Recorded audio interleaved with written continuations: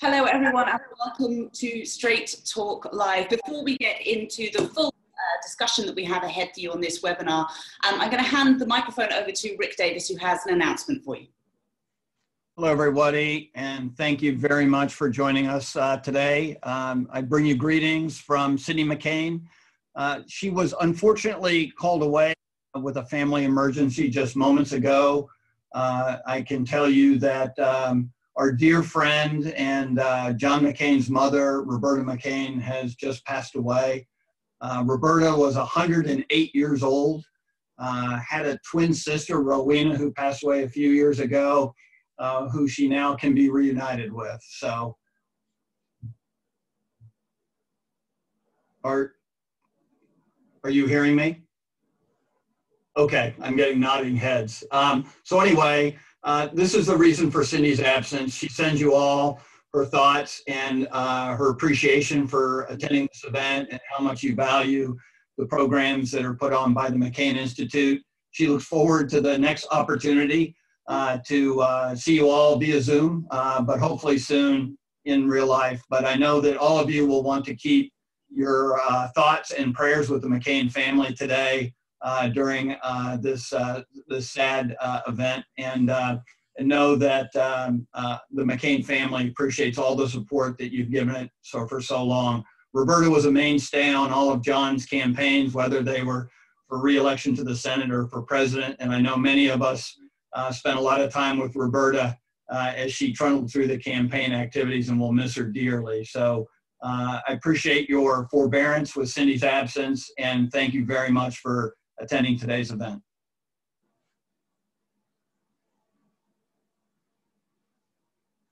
Rick, thanks very much uh, indeed. And of course, our thoughts and prayers go to the whole of the McCain family at this time. Um, let's start this webinar though, because so many of you are tuned in uh, keen to hear from our guests, Rick being one of them, so we'll be hearing much more from him later on. My name's Hannah Vaughan Jones. I'm an international journalist based here in London, eagerly watching what's happening across the pond at the moment. There is an awful lot to chew over, as I'm sure you're all aware, uh, from personality to politics and policy to partisan politics like we've really never seen uh, before. And all at the time, of course, when the Supreme Court nomination is also up, and that has been playing out today in the States.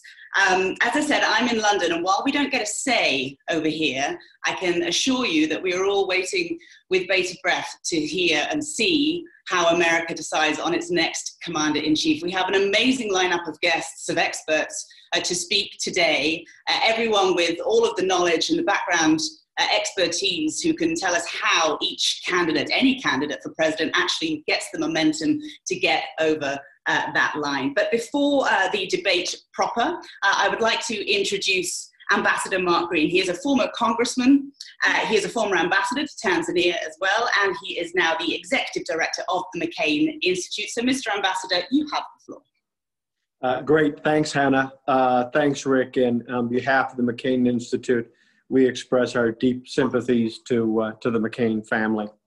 Uh, so it was on this day last year when we hosted our annual dinner in London. Needless to say, a few things have changed since then, from the pandemic and its fallout to authoritarian clampdowns in places like Belarus and Hong Kong. When I led the International Republican Institute a few years ago, I reported directly to our chairman, then Senator John McCain. McCain had the habit of beginning every board meeting by saying, My friends, the world's on fire, so what are we going to do about it?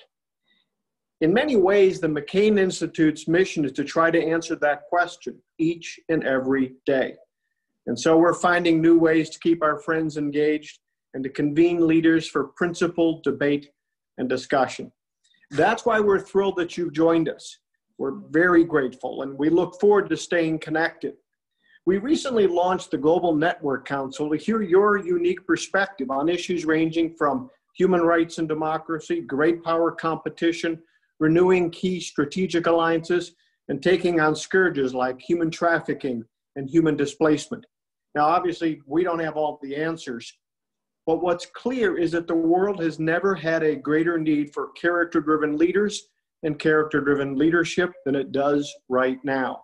The kind of leadership that John McCain really showed us all throughout his life of service the kind of leadership that we're dedicated at the McCain Institute to building and fostering. And so the Institute is grateful for the support you've given us in the past, and especially during these challenging times. We look forward to your continued support and participation. We all have a lot to do. Hannah, back to you. Mark, thanks so much. And it's so good to hear about the, the very important work that the Institute is undertaking at, at this critical time as well. Now, given a lot of the mudslinging that we're all used to uh, at these tail ends of election campaigns, you'd think that most people, uh, well, that the candidates rather, would still be vying for those swing voters, and still trying to win some people over. But it turns out that most Americans, it seems at least, have already made up their mind about which way this is going to go. So it is with some trepidation that I introduce our next guest. And I say that pushing the memory of 2016 to the back of my mind when it comes to, uh, to, to pollsters and their predictions.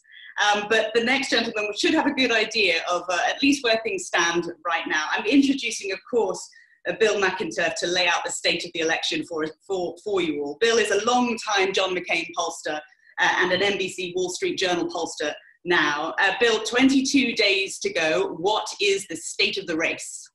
Well, the state of the race has changed. Uh, there was the most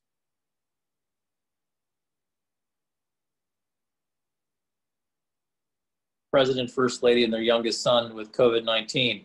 All of this has not gone well for Donald Trump. Two weeks ago, he was losing the national race by about seven points. Today, he's losing it by 10 and a half. He is uh, still in contact and meaning within margin of error, then some in a handful of swing states. But uh, this election is after a essentially nine months of stability, meaning Trump behind by five to seven points. Uh, we see the race a little bit weaker uh, for Trump. Uh, now, uh, because of the way we elect our president, um, I don't think there's any chance Trump wins the national popular vote. There is still a chance still that he could do what he did, which in 2016, which is very difficult, which is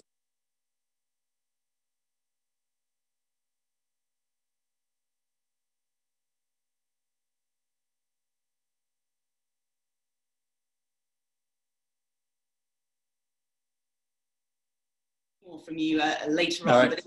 time, uh, we'll get on with the main debate now. And before we do, before I introduce our, our, our two guests, um, I would encourage all of you watching as well to use the Q&A uh, button, which is at the bottom of, the, of your screen. If you have questions for, for Trevor, for Bill, or for uh, David Axelrod and Rick Davis, Rick, who you saw at the beginning of, of this broadcast, then please do, uh, also for Mark as well, please do send your questions in. We will try and make time and get to as many of them uh, as possible. But on to the debate, and let me uh, introduce our, our two guests, uh, formally at least. Rick Davis, who you heard from just now, uh, a long-time McCain advisor, of course, a 2000 and 2008 presidential campaign manager, and currently sits on the, on the board of trustees for the McCain Institute.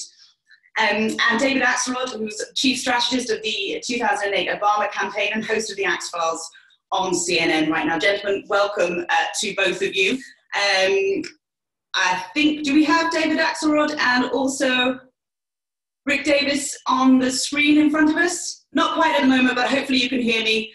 Um, I'll carry on with the debate and hopefully we can get the right guests up. okay, um, so let's start off by talking about this pandemic, which is still a global pandemic, is still uh, taking over the whole world. It is certainly in the grip of America as well, with millions of Americans infected, more than 210 thousand Americans have very sadly lost their lives to this disease as well. The president is infected with COVID 19 right now. So, with that in mind, uh, David, I can see you on screen. So, how is COVID 19 impacting on the electorate and how people are voting? Uh, I think it's been critical. Um, it's been critical because it is the issue that is consuming people here right now. We, we like uh, like Europe, we're on a upswing right now, and it's a it's a great concern. We've already lost uh, 215,000 people. We, we have a quarter of the world's population. We've lost uh, more than 20 percent of the victims to uh, COVID. And the president's uh, performance on this has been uh, concerning from the beginning, uh, and it has become more concerning now that we know what he knew at the time. Bob Woodward wrote a book saying that the president told in early February that this was a deadly virus, five times more deadly than the flu, uh, and, and easily communicable. And he told the American people at the very same time that it was no worse than a common cold, a mild flu, not to worry. And, uh, and that held back our preparations for months and months and months. And then, having closed the country down, he opened it up uh, too quickly. And, um, you know, so there's been this pattern of denial.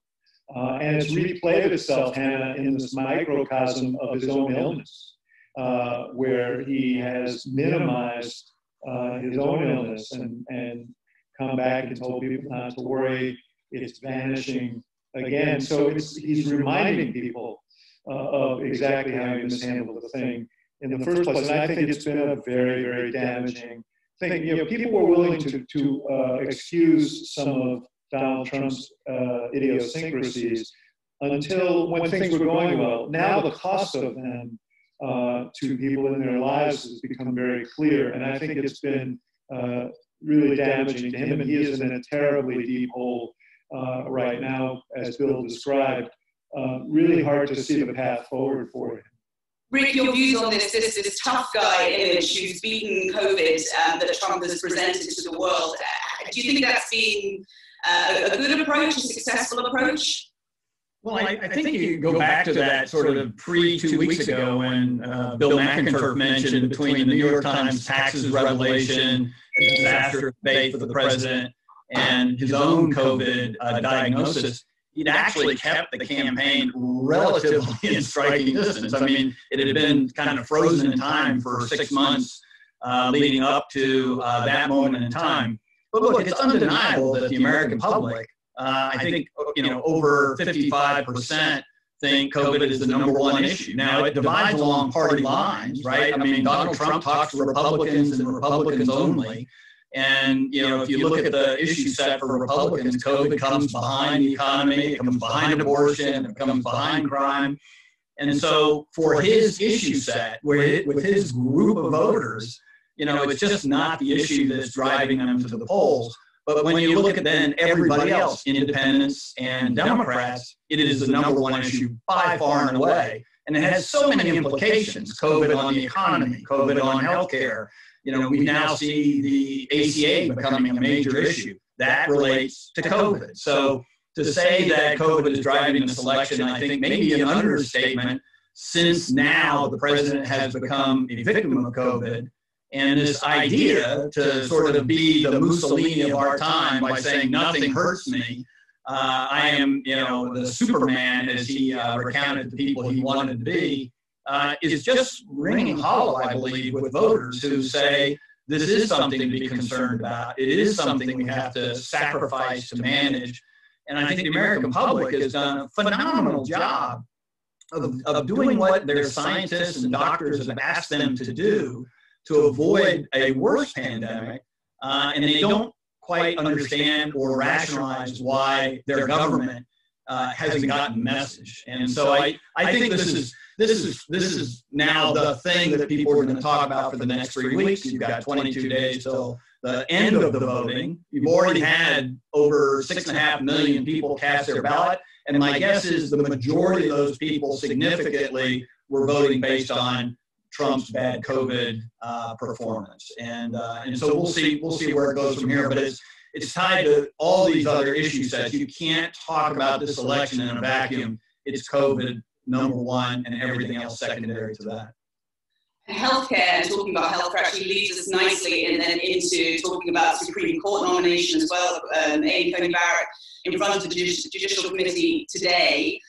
Um, I, I suppose we're at the point now where more and more people are going to be voting based on Obamacare, the Affordable Care Act now, how much it means to them, whether they're going to lose their insurance, their cover, uh, if Trump is re-elected, if Republicans are elected up and down the ticket, and also if Amy Coney Barrett, Coney Barrett is confirmed as well. David? Well, uh, look, the pandemic has brought healthcare right uh, to the fore. There are millions of people who've lost their jobs, and with it, uh, their healthcare. So uh, the, there was a Fox News poll last week that showed that uh, 64% of Americans said they wanted to keep the law in place. That's the highest number ever recorded, and I think it's this confluence of events. Uh, but uh, you know, so I don't think Americans are so much focused on the Supreme Court, but Democrats, I think, resigned to the fact that if Republicans want to confirm her, they will. Have very clearly in this hearing today, and I think for the next four days, they've been hammering her previous written opposition to the Affordable Care Act. Uh, and they are using this hearing to hammer at an issue that, frankly, was the most important issue in 2018 when they took over uh, the House of Representatives. This issue of what happens to people with pre-existing medical conditions if the Affordable Care Act goes away. So um, I, I, don't think this is a very good. You know, there's a, a, a Republicans are very focused on getting another seat on the Supreme Court. That that'll help with the conservative base. But in the larger sense, this this uh, highlighting of this issue at this moment is kind of a disaster for Republican Senate candidates, and I think also for the president. Rick, why is why is that that it would be a, a, a disaster for Republican candidates? Uh, Hannah, the field of play has changed. When we were helping John McCain get reelected to the United States Senate in 2016, ACA was on the ballot, and, and John McCain ran actively against it. Uh, we were down to our one last insurer in Arizona. Uh, prices had gone up 58% to the consumer uh, to get basic health care. And, uh, and, and it was a good campaign issue for Republicans in 2016. No question, Donald Trump made good use of it in forging a coalition, especially in the suburbs, for people who were afraid that they were going to lose the kind of independent uh, health care that they had. Uh, then, as, as David said, along came 2018, and the, the Democratic Party and their candidates did a phenomenal job of turning the debate on health care into preserving pre existing conditions. Now, Republicans gave them all the help they could by trying to take away the uh, exemption for pre existing conditions in the prior year.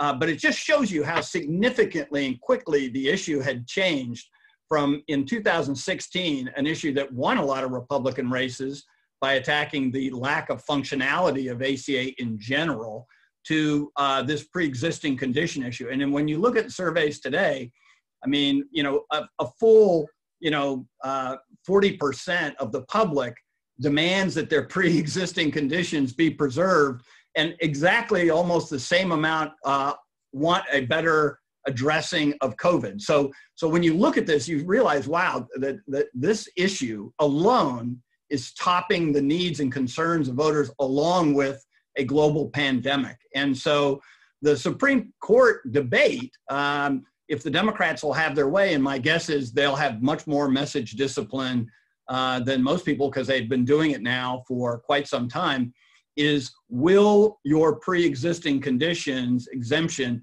be taken away by the court who the Trump administration keeps saying is going to get rid of ACA. And so if if if Amy Coney Barrett becomes a a placeholder for the debate on on pre-existing conditions, that is a very bad thing for Republicans trying to get suburban women to vote for them uh, in this election. Hannah, one, one additional point for those who aren't aware, the Supreme Court's supposed to uh, convene on November 10th to hear the case that the Trump administration and some state Republican attorney generals are bringing to try and throw out the entire Affordable Care Act and with it the protections for people with pre existing conditions. And so when you put that in the context of the speed at which they're racing to confirm this justice, to put her on the bench after she's expressed her view on this, it adds more combustibility to the issues. Yeah, I mean, on the timing of the confirmation vote, assuming that she, she, she is indeed confirmed, Donald Trump would obviously prefer it to happen before the election because it shores up his legacy. Uh, but am I right in thinking that, then Rick, perhaps this is a question for you, that GOP candidates up and down the country would prefer it to be something that motivates voters to get out there and that, it, that there is no confirmation until perhaps after November 3rd? Well, it, it, it is a incredibly polarized electorate, right? And so uh, when I said earlier that Donald Trump talks to Republicans and Republicans exclusively, that's because that's what he did in 2016 that won him the election. And he has not veered from that example one day since his presidency began. So, in his construct, he is looking at this landscape and saying, I'm going to focus on you know the economy, which is the one thing that he actually still pulls ahead of Joe Biden on, but only marginally now. Uh, but but he wants to he wants to get into these other issues. They want to talk about Amy Coney Barrett's you know uh, position on abortion because that's still a winning issue for him within his own party. They want to talk about uh, crime because uh, the way they want to approach it, uh, law and order, it rings true. Uh, you know for his base and gets them riled up. And so you know he's going to go down the mat on these kinds of social issues and guns will come up in this debate because he believes that this is a core element of firing up his base. And so what you're going to hear from the president it will sound somewhat tone deaf to the public who are still being ravaged by COVID, but it, it's a message to his base that you know we need to turn out more in order for me to to, to be able to win. I mean, I would say arguably the demographics don't really support him, but but I see no reason why he would change his campaign strategy at this moment. But a quick a quick addenda and answer your question, Hannah. If this does not happen before the election and Joe Biden wins the election and wins by a substantial margin, as the polls suggest now, there's going to be a tremendous amount of, of pressure on the Senate to, to lay this thing uh, aside. And I don't think they'll do that. But I think they'd much rather tidy this up and get rid of it before election day than add that uh, added element of. Uh, yeah. Of there are plenty more to talk about um, as far as the Supreme Court is concerned. But in the meantime, I just want to um, interrupt the debate for a second because I want to put a, a, a poll question out to all of our uh, viewers, the people who are watching right now. I've got a couple of questions to ask you, and again, if you can use the Q&A function at the bottom of the screen uh, to answer this. So the first question we have is, what is the number one issue on which you will cast your vote. One, economic recovery. Two, Supreme Court. Three, healthcare.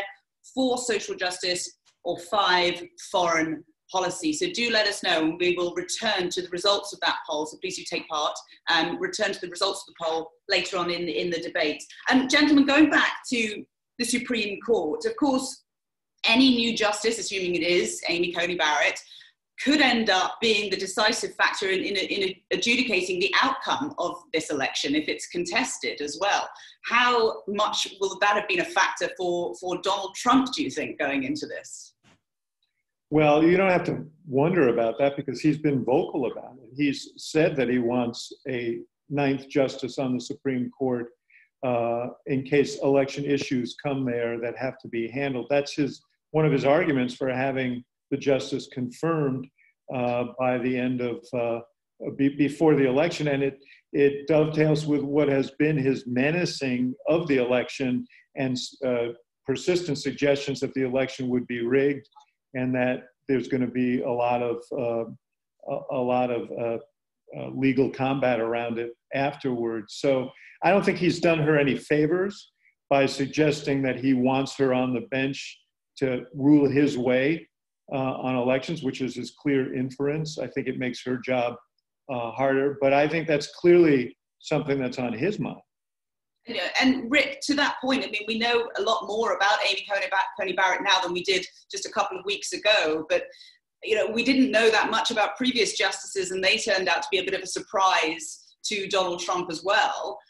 Could could she be a surprise Sure. I mean, you get surprises on the Supreme Court all the time. Uh, presidents have had visions of putting their folks on the court uh, throughout the ages, and and sometimes it works out great, and sometimes it doesn't work out at all.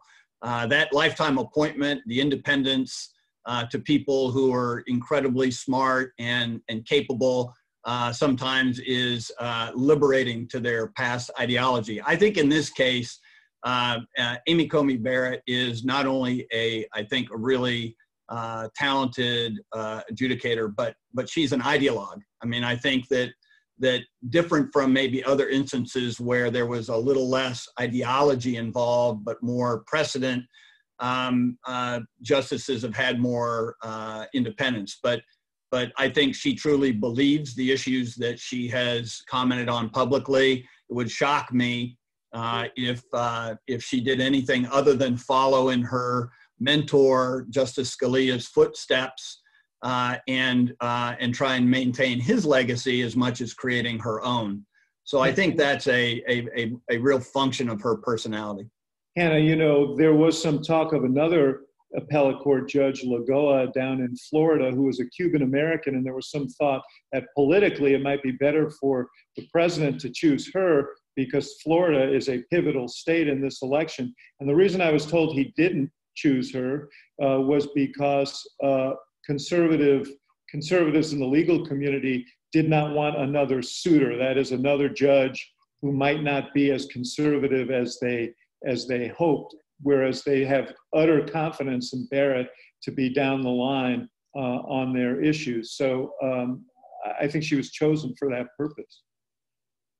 Moving on to another um, issue that uh, both candidates will be fighting out it out over over the next 22 days. Donald Trump is obviously trailing in the polls at the moment, um, but he is going to need to look at one, perhaps like one big thing that he can like grab onto, and maybe it would have been the economy six months ago or a year ago. Is it going to be law and order now that is going to be the thing that he grabs hold of and says, I am the candidate for law and order in this country? When you look at the uh, the racial division in the country, when you look at the peaceful protests and also the rioting as well that's taken place, that has really kind of motivated some voters. Yeah, maybe take a swing at this first. Um, look, I mean, this this is an this is an issue that's changing uh, over the summertime uh, during some of the protests uh, that embarked upon all over the country in major cities and elsewhere. Uh, you saw a, a, a majority of the country sort of backing the protests. You know, they wanted to see change. Uh, the majority of voters were looking at this through a fulcrum of trying to do what they can to improve race relations in the United States. I think there was a genuine goodwill associated with the need to galvanize action around these movements. Since then, um, I do think the president has actually been somewhat successful in framing these as uh, violent acts, uh, uh, and that uh, and that you know his message of law and order uh, has probably resonated with some of these voters. I mean, you do it long enough and hard enough. Uh, we've seen the history of this issue over time in our country, basically getting votes through fear. And, and it is a device, and it's a device that Donald Trump has been wielding pretty successfully. you've seen a decrease in the amount of public support over the last few months around the notion of these protests being a positive change for the country rather than a destabilizing uh, initiative in neighborhoods. So um, I don't doubt that Donald Trump will try and finish strong on this issue. Uh, I think there is a breaking point. It, it, it, it isn't helping him recover the votes that he lost in 2018, white suburban women. Uh, they want to see change in America for the better, and they've held out for that. Uh, but it may be a way to try and, as we've said, you know, repeatedly in this conversation, double down on getting his base uh, out and trying to turn out more and more people who would agree with him, you know, on on this this this uh, this this crime issue that he's trying to turn a a, a protest movement into a, into a into a crime spree. Yeah, And David, conversely, how is Joe Biden's argument on this? I mean, how is his appeal reaching voters in terms of has he been too soft or is he being too hard on the rioting, the protests? I thought he could have been a, a, a, beat quicker in getting in on it. He, when he did get in, he said the right things. He, uh, he condemned the rioters and made it very clear that they should be prosecuted to the fullest extent of the law. But I would say two things about this. One is in that same uh, Fox News poll uh, this previous week, the people were asked, "Do you think Joe Biden talked the way he talks about racial inequality and the police is leading to an increase in acts of violence, or not?" Uh, they said no. 38-52. They said no. They asked the same thing about Donald Trump, and the numbers were reversed. 58% said the way Donald Trump talks about racial inequality and the police is leading to an increase in acts of violence. And as Rick points out, this was very much aimed at the suburbs. His, his, his whole attack on this was to warn the suburbs that people were coming to maraud in their communities. Well, the gap in the suburbs is actually widening, it's not shrinking. So I don't think this was a winning strategy. The initial premise of your question was will he be talking about this or the economy? Frankly, Donald Trump should have been talking about nothing about uh, but who is best equipped to lead the economy out of the hole that it's in. Uh, he that's the one area where he seems to have some advantage left over Joe Biden. And I think a lot of Republicans would have liked to see him use his debate and other opportunities to really hammer that issue. But instead, he's gone off in other directions, including this one. Okay, we um, I have another poll question for all of the, uh, the, the viewers as well, and I think I might just be getting some of the answers uh, from the previous poll. So let's do this one first. So we asked before, what is the issue that's most motivating you ahead of November 3rd? And the results are on the, the economy and jobs is 20%, Supreme Court uh, 4%, healthcare 18%, social justice 13%, foreign policy 16%, uh, uh, and other 29%. So you know, it, as you, you're just saying, David, that Donald Trump should have been talking about the economy all along. That is still obviously the thing that, that and healthcare, both 20% and 18%, the thing that is actually motivating people the most. And of course, that's the biggest problem that any candidate has in this it, it, through a global pandemic is how do you split your your support between supporting the economy and saving lives? Yeah. Well, he's talking ineffectively about the uh, pandemic and healthcare, and he's yeah. not talking at all about the economy, where he might have some toehold uh, to move forward here. So, you know, they've got strategic issues over there. And they've got they've got both personal issues and strategic issues. Um, I, I would say too. I mean, just like in the current events category, he's got an opportunity and has had one for weeks to cut a deal with Nancy Pelosi in the House and and put a stimulus out there that would get the message back on the economy uh, and, and in a way that um, would be incredibly positive. I mean, uh, not very many presidents have been able to sign a bill giving trillions of dollars to the American economy at a time of such need, supported by Congress, supported by the Federal Reserve Board.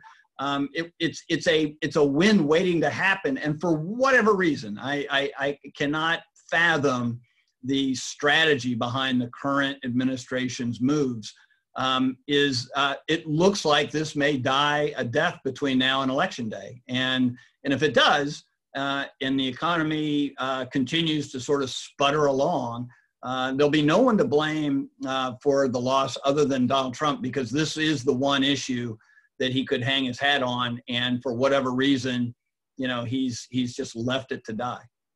Yeah, David, I think I heard you uh, say um, or maybe you were quoting someone else as well, that this is basically a referendum on Donald Trump, and it's you know it's Trump v. Trump, and Trump is is is losing right now. Um, with that in mind, let's bring up the second polling question for our viewers as well. And what is an issue that you wish was more prominent during the campaign? Uh, is it climate change? Is it leadership and character?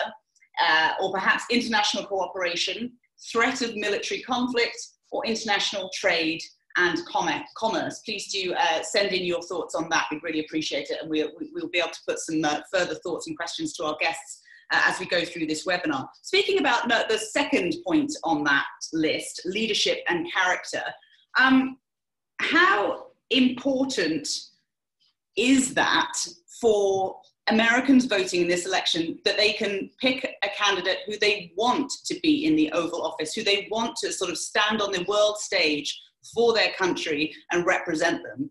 And do they think that Donald Trump has so far been successful in that? Certainly in terms of foreign policy, I, I assume that he would claim that there have been many, many wins in terms of America's standing and, and foreign, foreign policy. David, perhaps to you first. You know, I don't think this is a foreign policy election. I think Americans are looking very much inward right now because of the pandemic, because of the economy.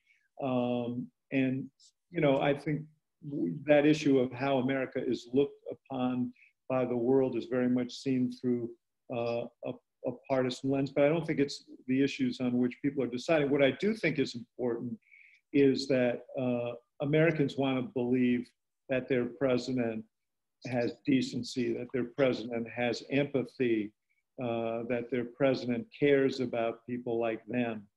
Uh, and that is one of the reasons why Biden is in a good position right now because he uh, he projects those qualities. Whatever you think his deficits may be, Joe Biden is seen, broadly seen as a decent, caring person. who's gone through struggles himself and understands the struggles of others. And in the midst of a monster pandemic, that is an extraordinarily important quality. And I think that supersedes you know, world leadership. I mean, I have my own feelings about the absence of American leadership in the world over the past four years uh, and how dramatically bad that's been. Uh, but, and I'm sure your audience uh, at the McCain Institute has a very keen sense of that. But uh, for the average American, I think it's much closer to home.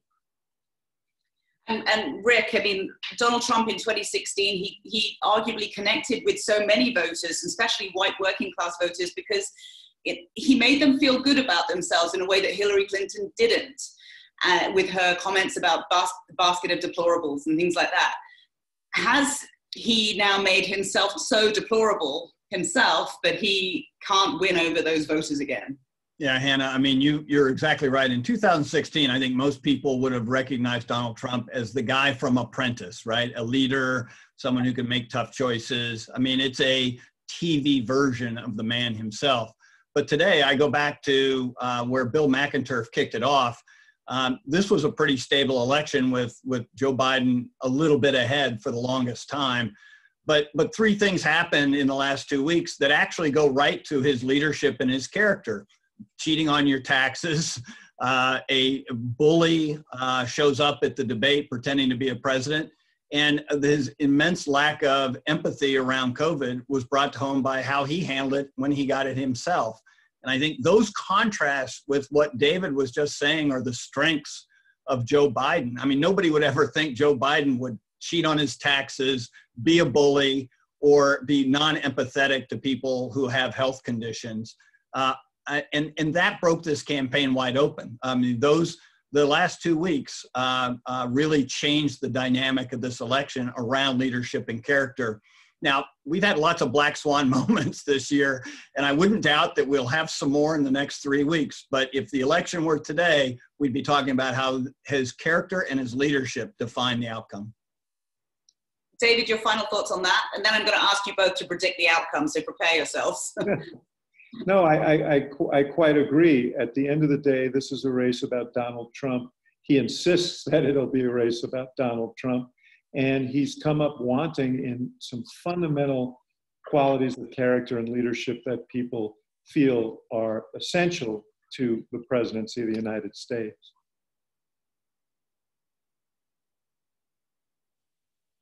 To a conclusion on the end of the, uh, the debate part, at least. And I have to thank you both. Moderators haven't had a very easy time of things in recent weeks, and you've been very well behaved, so I appreciate it.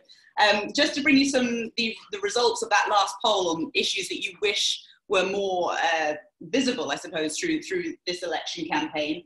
Uh, climate change has got 19%, leadership and character, which we've just been talking about, 44%, so quite significant there. International cooperation, 25%, abortion, just 1%, uh, gun control, 1%, and international trade and commerce, uh, 11%. So certainly it seems that leadership and character are uh, very uh, big issues or is a big issue for those watching today. Gentlemen, thank you. Do stay on the on the webinar, on the call, because uh, we will be putting some questions to you from, from lots of people tuned in uh, in the next uh, couple of minutes or so. But in the meantime, everyone, I would like to uh, introduce now Trevor Potter uh, on the, uh, the, the, state of voting. Uh, Trevor was general counsel to John McCain's 2000 and 2008 presidential campaigns. He is a former chairman of the Federal Election Commission and founder and president of the Campaign Legal Center. Trevor, um, very few believe that whoever wins on November 3rd, or indeed in the weeks afterwards, once all the mail in ballots have been counted, uh, that this is going to go uh, uncontested. So, how is America's democratic infrastructure set up? How can it fare if there is such a contest in the weeks leading up to, or the months leading up to a January inauguration? Thank you, Hannah. It's uh, great to be with you all at uh, the Straight Talk Express and uh, the McCain Institute. Uh, I think it's important to understand that our election system is unlike most democracies in that we do not have a central government election agency that is running this. We're a federal system, and our Constitution says that each of the states runs elections both for their state offices and for federal offices, their representatives in Congress and the presidency.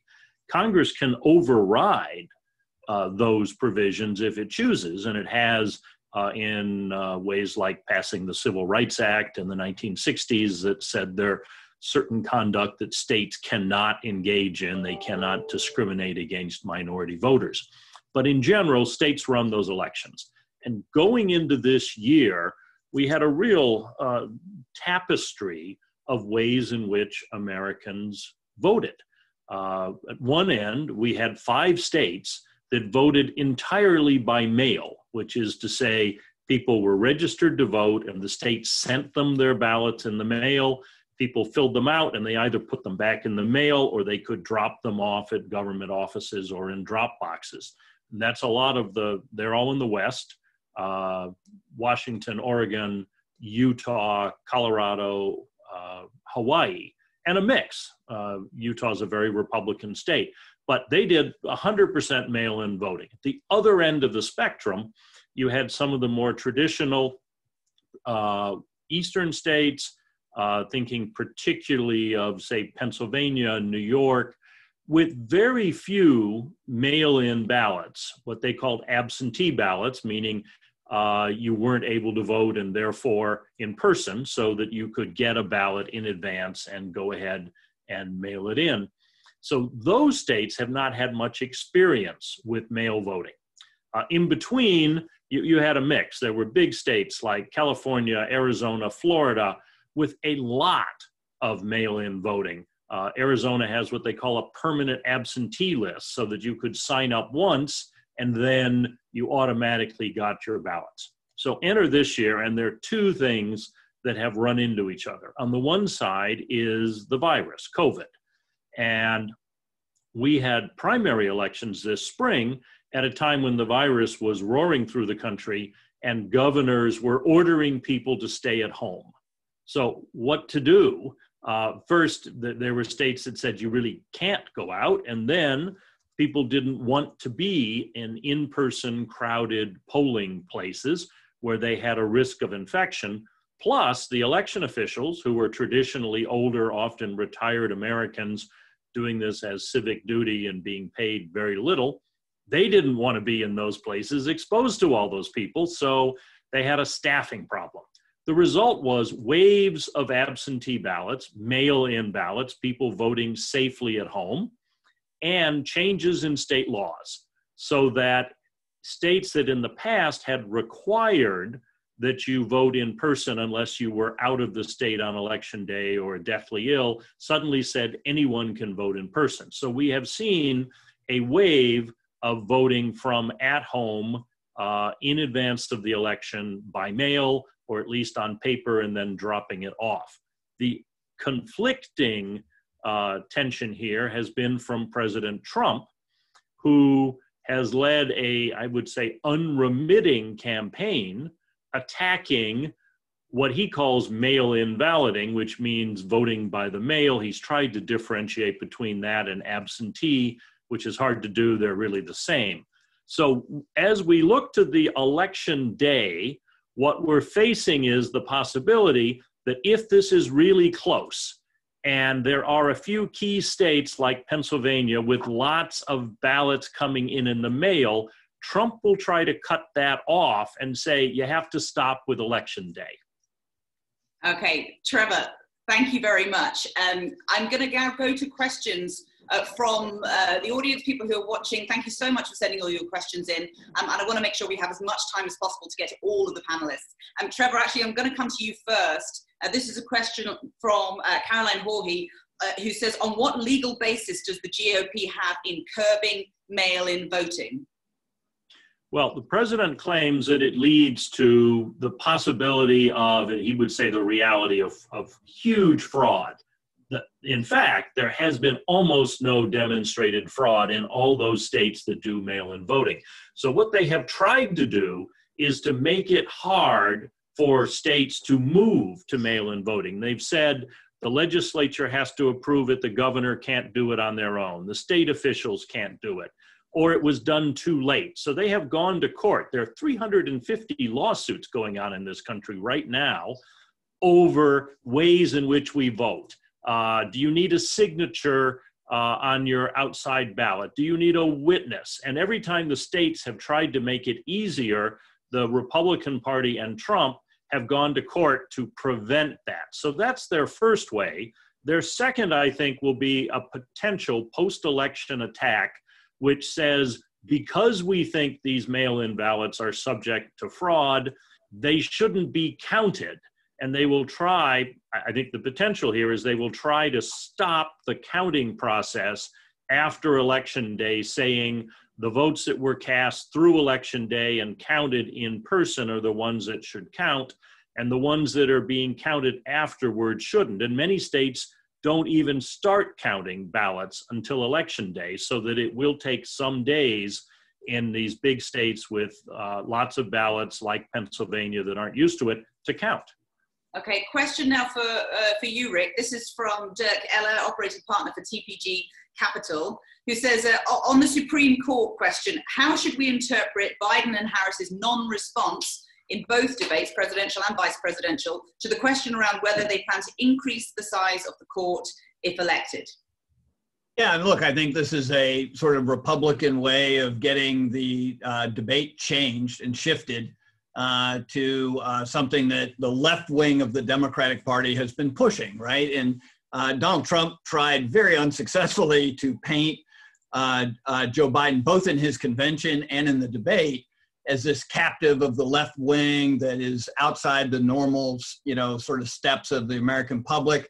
And, and their new uh, issue related to that is packing the court. I dare say there's probably very few voters even know what packing the court means, but they it, it definitely res- resonates as a negative. Maybe uh, maybe uh, uh, uh, uh Mr. McInturff can tell us what the real polling is on uh, on on this. But but look, I think it actually did a good job of changing the topic a little bit after the debate with the vice president's nominees. Um, clearly, Kamala Harris didn't want to answer the question. Uh, and the campaign didn't follow up with any kind of declarative statement, which I thought would have been a no-brainer.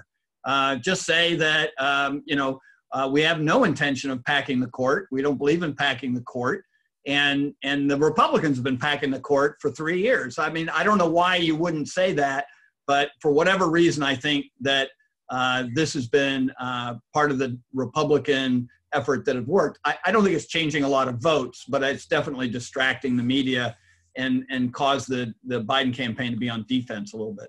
And, and Bill, to that point, Rick asking there uh, about packing the bench and what that means and what impact that's having on voting trends. I mean, is there any data on that?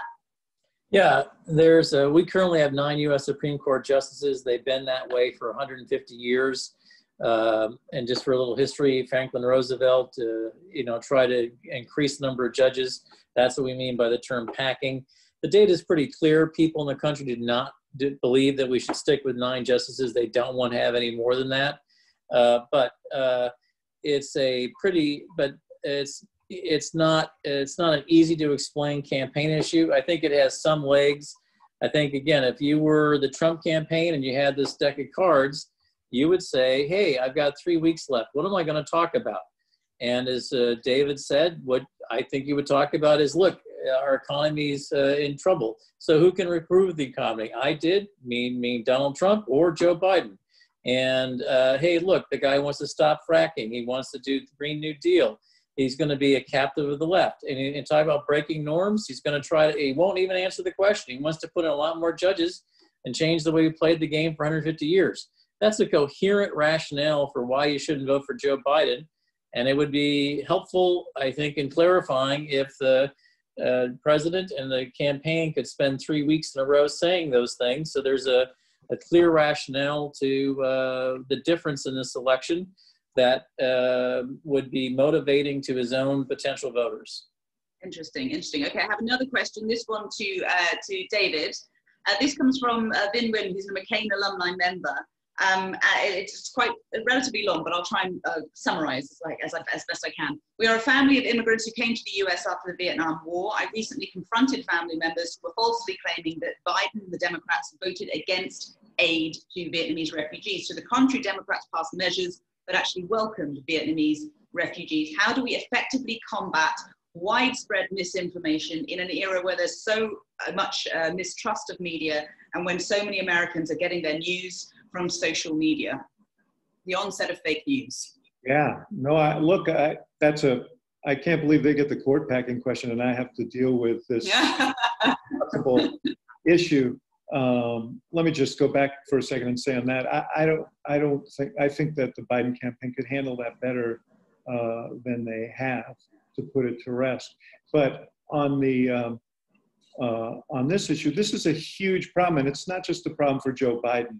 It's a problem for democracy, and not just democracy in America, but democracy in, in Britain and democracy everywhere. And the more that we are stuck in our information silos and getting information the way we do, uh, increasingly, uh, the more these things can fester. And you know, campaigns have to be alert to what's going on on social media and should be very, very firm in in in, in pushing back on social media uh, memes wherever they uh, wherever they find them. We had a whole unit way back in 2012 uh, that was really monitoring social media with a mind toward pushing back. But this has only gotten monstrously more difficult, uh, and it is a problem. And you know, Hillary Clinton experienced it in 2016, and it opens the door to malign actors, not just in our own politics, but Russia and others who who know how to play this game.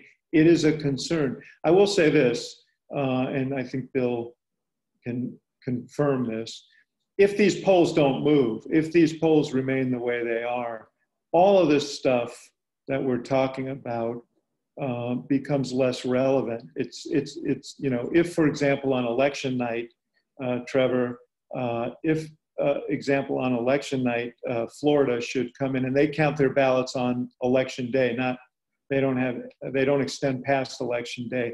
Uh, if Joe Biden wins Florida, you can be pretty sure that Joe Biden's going to win the election because no president has won, no Republican has won the presidency since Calvin Coolidge in 1924 uh, without uh, Florida. Ohio, Ohio counts them on the same day. If, if Biden wins Ohio, uh, no Republican president has ever been elected without uh, Ohio. So these things are all challenges, but the margin will make a difference in terms of how impactful they are in this election.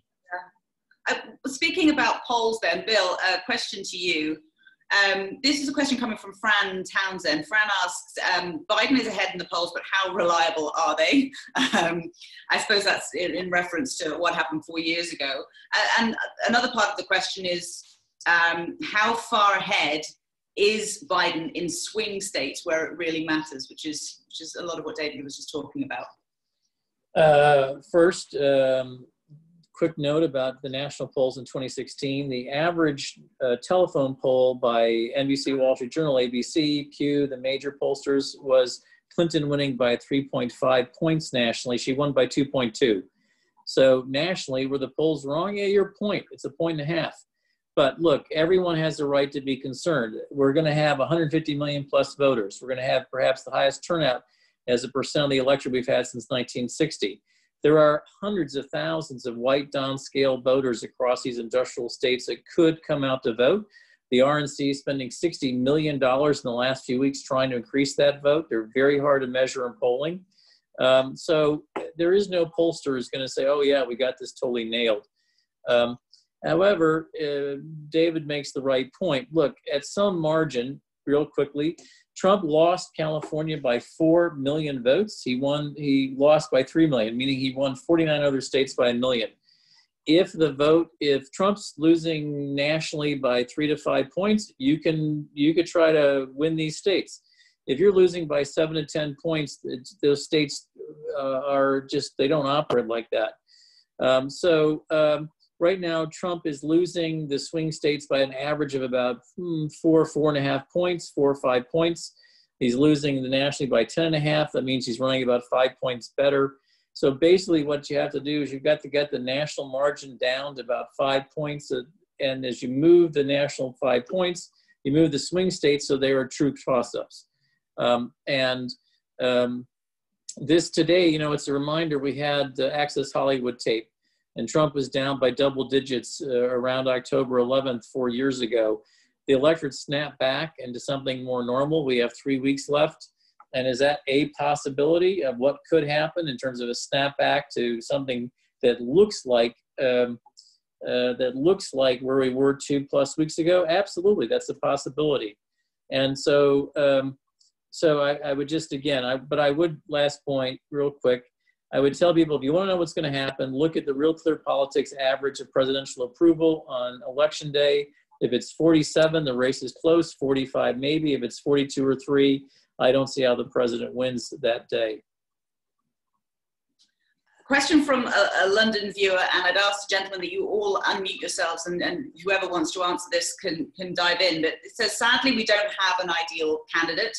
Uh, do you think there will be low voter turnout as a result? And do you think there is a silent vote for Trump? There's just been talk of, of being very high turn, turnout, but this uh, uh viewer wanting to know whether actually, because of the Trump effect, there could be really low turnout. And perhaps, I guess, because of coronavirus as well. Let, let, let's let Bill McInturff answer this because their measure of voter interest is really, really uh, telling. Sure, Bill, go for it. Yeah.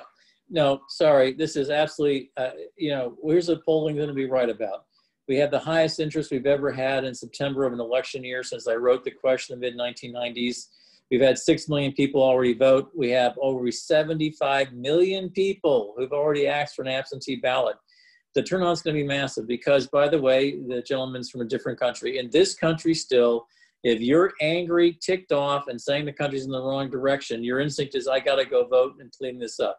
That's a good impulse uh, for the electorate. And so we're going to see, I think, north of 150 million votes, up from 134. So uh, here's like, you know, I don't know who's going to win, but let me tell you this: I can, I will you, I will be beyond shocked if we do not have a record number of people voting, and and everything we're watching in terms of the early vote tells us and reinforces this is going to be a massive record-breaking turnout. Question: I think this one would go for to uh, to Rick. If Trump's defeat is clear but he refuses to accept it, will the Republican establishment, so donors, leadership, etc., let him know he has to concede? Sure. I mean, I think that there uh, is a likely scenario that uh, the Republican establishment, whether it's leadership in the Senate, Mitch McConnell, or House leadership that's been a little more tolerant of, of Donald Trump, would get together and say something's got to happen. My, my guess is that um, uh, uh not much of that's going to have an impact on Donald Trump. I mean, he's very much resistant to lobbying uh, by most people. He'll act in his own self interest. That's the one thing you can probably guarantee.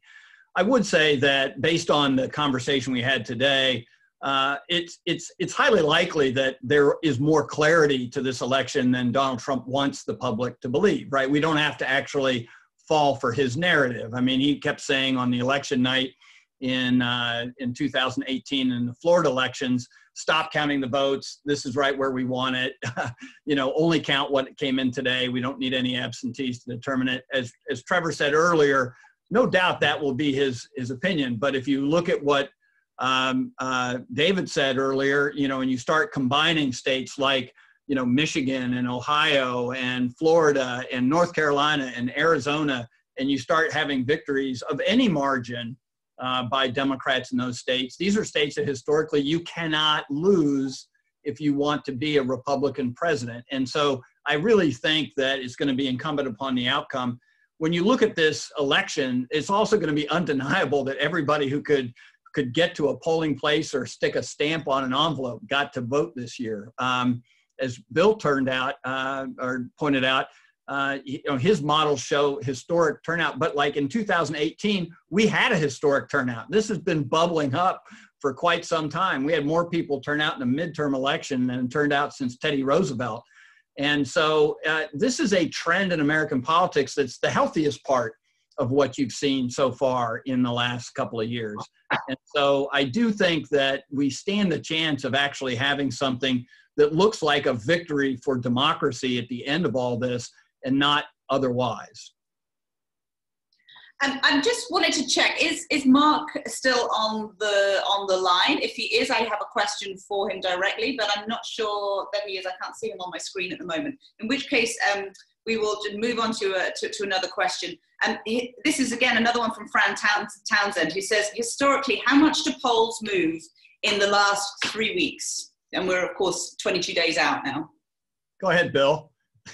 um, well, the um, uh, probably Trump in 2016 is probably the best example of what can happen. Uh, again, after the Access Hollywood story, uh, uh, he was down double digits. He was down, um, as I said, three and a half points the last weekend and found a way to win. Um, polls are a lot more volatile when you have a non-incumbent. Uh, the incumbent uh, job approval kind of defines the vote. I don't, I don't. So in other words, Donald Trump has operated from 43 to 46 percent approval for almost his entire presidency. Uh, I was, as a Republican, I was hoping that he might move to 47 or 48. I think this confluence of events going to cap him about where he is, and that's a good day. So, um, uh, so when the president's job approval is around 45 or 46 percent of the vote, that's what he's going to get. Um, and uh, but it needs to be remembered, he won the presidency at 46 percent. That's what John McCain got, and he got well, he lost by seven points, and uh, Mitt uh, Romney got 47 and a half uh, points. He got more percent of the vote than uh, than Trump and lost. So um, believe yeah. me, it's really hard but to it, try but, to win a presidency in 46 percent of the vote.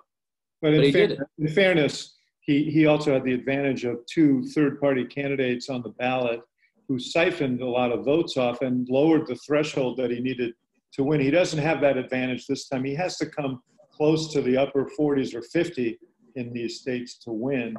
And uh, as you point out, Bill, if you're tethered to a job approval rating in the low to mid 40s, it's very tough to get that extra five yards, you know.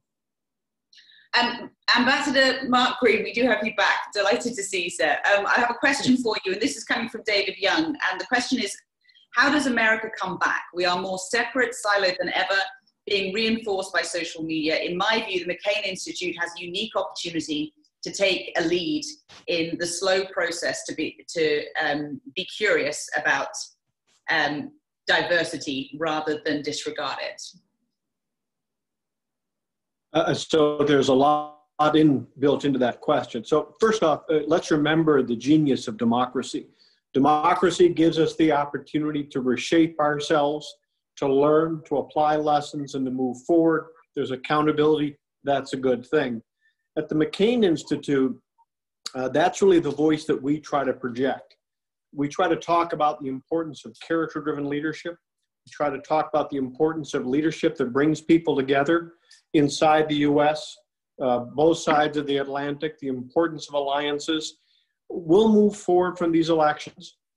Uh, there will be a, a, a, period probably of a little bit of uncertainty in the days right after the election, but I have every confidence the American people will come together, our leaders will come together.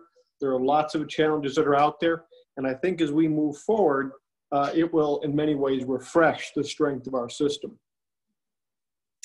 I think that's a pretty good place to, uh, to, to, to, leave things uh, for today then. Gentlemen, thank you all very, very much indeed for your, your thoughts, your expertise, your candor as well, um, and indulging in the, uh, the spirit of democratic uh, debate. Politics, of course, is mm. supposed to be engaging and, and fun and encouraging engagement as well from others. And I very much um, am sure you join me, gentlemen, in thanking the whole of the McCain Institute for providing this platform uh, to, to have this discussion today so close to this crucial election.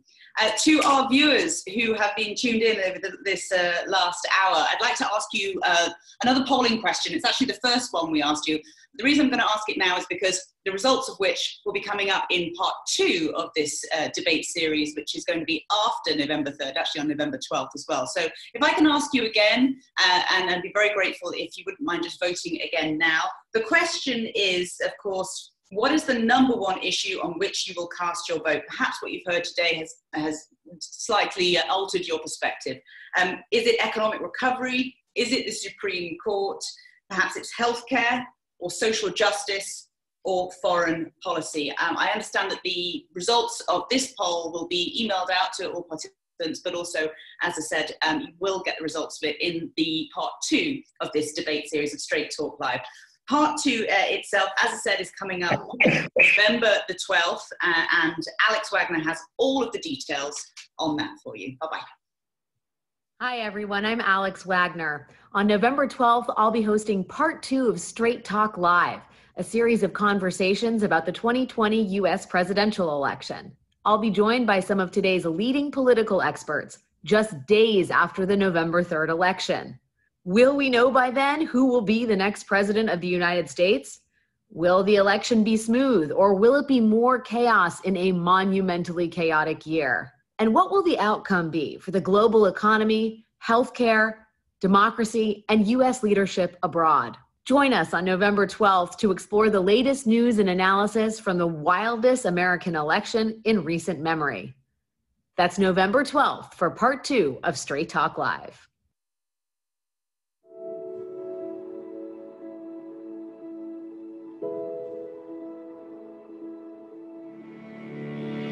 A spirit capable of compassion and sacrifice and endurance, cannot be paralyzed by fear. We cannot give up on ourselves and on each other. We stand for truth against falsehood, freedom against tyranny, right against injustice, hope against despair. I believe we must always stand up for it, for if we do not, who will?